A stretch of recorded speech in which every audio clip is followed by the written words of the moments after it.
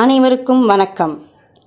நுவலி விளையாடி நடத்திய புகைப்பட கவிதை போட்டியில் கலந்து கொண்ட கவிஞர்கள் அனைவருக்கும் வாழ்த்துக்கள். இந்த போட்டியில் நூற்றி ஒன்பது வாக்குகளை பெற்று என்விகேசி செவன் கவிதை எழுதிய கவிஞர் சின்னசாமி அவர்களும் நடுவர் தீர்ப்பின்படி என்விகேசி டூ தேவஞான பிரகாசம் அவர்களும் வெற்றியாளர்களாக தேர்ந்தெடுக்கப்பட்டு பரிசுகளை பெற்றுக்கொண்டார்கள் என்பதை மகிழ்வுடன் தெரிவித்துக் கொள்கிறோம். சிறப்பாக இந்த பதிவு அமைய வாக்களித்த அனைத்து பார்வையாளர்களுக்கும் நெஞ்சார்ந்த நன்றிகள். தொடர்ந்து நுவிலி விளையாடியின் பதிவுகளை பாருங்கள் பகிருங்கள் சப்ஸ்கிரைப் செய்து தொடர்பில் இருங்கள். நன்றி வணக்கம்.